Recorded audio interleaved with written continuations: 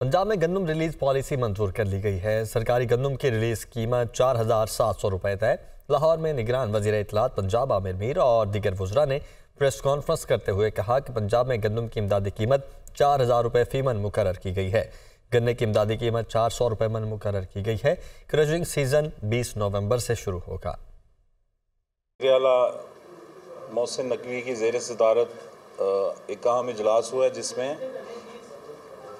पंजाब के काश्तकारों को उनकी मेहनत का पूरा मुआवजा जो है वो यकीनी बनाने के लिए कुछ फ़ैसले किए गए हैं। गंदम की रिलीज़ पॉलिसी की भी मंजूरी दी गई है और जो रिलीज़ प्राइस है वो सैंतालीस सौ रुपये फ़ी मन मुकर की गई है। यानी हकूमत जब ये गंदम ख़रीद के काश्तकारों से आगे फ्लोर मिल्स वालों को देगी तो उसकी कीमत सैंतालीस सौ रुपये फ़ी मन होगी। इसके अलावा हुकूमत ने हर किस्म के कोटा पर भी पाबंदी आयद करने का फ़ैसला किया है और वज़ी अला मोहसन नकवी ने गंदम की रिलीज़ के हवाले से लिबरल पॉलिसी अपनाने का फ़ैसला किया है।